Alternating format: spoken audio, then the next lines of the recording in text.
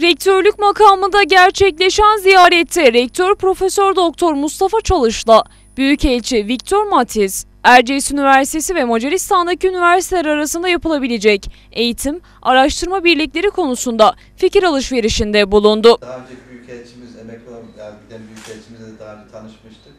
Macaristan'la özellikle üniversitemiz arasında Osman Bey'in de aracılığıyla güzel bir diyalog e, olduğunu öğrendim. Erciyes Üniversitesi'nin bir araştırma üniversitesi olduğunu belirten Rektör Profesör Doktor Mustafa Çalış, Erasmus öğrenci değişimi başta olmak üzere üniversitemizde Macaristan'daki üniversiteler arasında işbirlikleri yapmayı istiyoruz. Hatta bu konuda Macaristan'a gitmeyi düşünüyoruz dedi. Ee, Erasmus öğrenci değişimi başta olmak üzere üniversitelerimizde, e, Macaristan'daki üniversitelerimizde işbirlikleri yapmayı çok istiyoruz.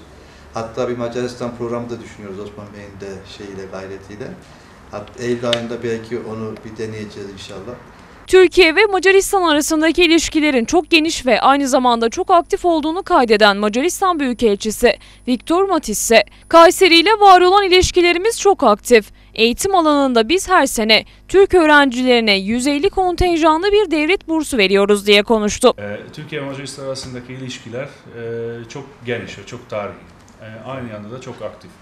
E, Kayseri ile var olan ilişkilerimiz de yine çok aktif. Osman Bey'in sayesinde e, en aktif e, e, Fahri Konsolosumuz kendisi. Yani hem Macaristan'da hem Kayseri'de çok fazla e, faaliyette bulunuyor ve ikili ilişkilerinde içinde e, ciddi katkıları var.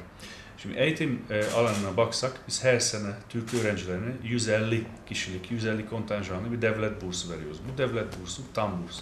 Yani 50 kişi lisans, 50 kişi lisansüstü, e, 30 kişi doktora, 20 kişi de araştırma için her sene gelebilir. E, Bundan Kayseri öğrencilerin daha fazla e, e, yararlanmasını e, istiyoruz. Bunun dışarısı yani bunun üstünde üniversiteler arasındaki ikili işbirliklere de çok ciddi bir önem veriyoruz. Çünkü Sayın Cumhurbaşkanı geçen sefer Macaristan'a gittiğinde, Sayın Başbakanımızla görüştüğünde ortak bir üniversite kuralım gibi bir fikir çıktı. Ancak bu çok uzak yani uzun dönem bir e, amaç. İlk önce çeşitli üniversiteler arasındaki işbirliğini çok net bir şekilde e, geliştirmek lazım.